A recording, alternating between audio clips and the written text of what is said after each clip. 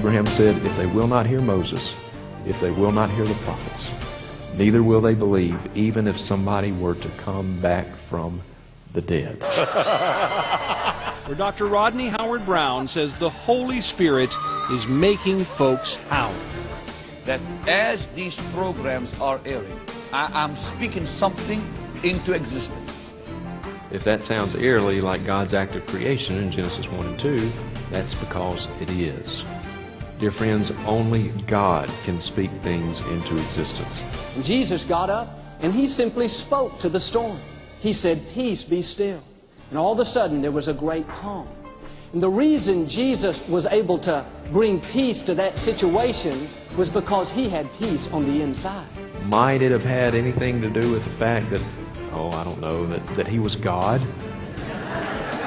But if the Godhead gets together and say, let us, How can Say what- that again, because I they now- don't get it. I now come into a priestly anointing. Jesus is not the only begotten on. Son of God. He is not. Dear friends, when it comes to matters of theology, when it comes to matters of doctrine, we absolutely are to judge on these things safely within biblical parameters. You know, you're the you're supposed to control the weather. From the hand of Pastor Benny Hinn, and believers are overcome by the presence of the Lord.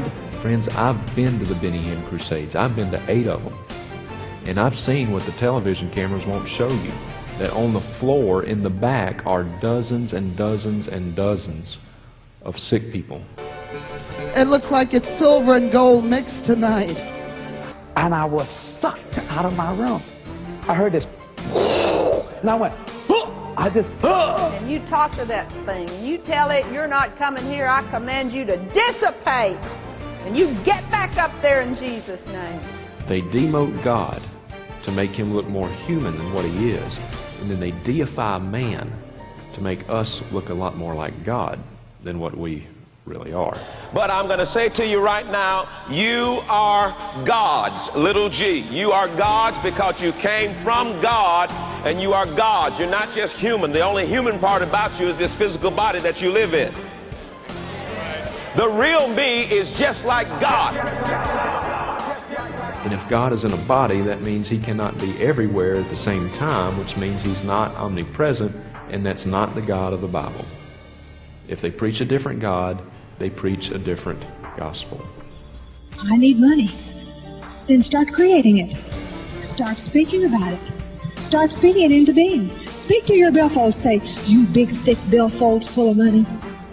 God is God. He doesn't have to have faith. He doesn't exercise faith. He doesn't use faith. He's God. He's the object of faith. Oh, wait a minute. What does that mean, object? I don't know what that means. I don't either. But he's about to do it again. Now hear this. I'm prophesying this. Jesus Christ, the Son of God, is about to appear physically in some churches and some meetings and to many of his people for one reason to tell you he's about to show up. All I could think about is what a powerful testimony that would be. If all of a sudden I were to show up walking, you know, there is no cure for cerebral palsy. Once you got it, you got it, unless God does something. So we see right there that God wants us to be healthy. Can everybody say, God wants me to be healthy? What I do is try to just teach practical principles. I may not bring the scripture into the end of my sermon, and, and I don't feel bad about that. The faith preachers take the Word of God, and instead of it serving as a source of strength and encouragement to the afflicted believer, they take God's Word, they wrench it out of its context, turn it on its head so now it stands in judgment over them. And I cannot imagine a more self serving perversion of God's Word than what the faith preachers do with it. And to top it all off, they take their money. God could do nothing on earth. Nothing has God ever done on earth without a human giving him access. Repent the thing before me, and I'll cleanse you from all unrighteousness. I won't even let him know you did it. If Jesus is keeping secrets from the Father, then that means there are things that the Father does not know, which means he he is not omniscient, and that's not the God of the Bible. And any Jesus who's keeping secrets from the Father is not the Jesus of the Bible. If they preach a different Jesus, they preach a different gospel. And a different gospel does not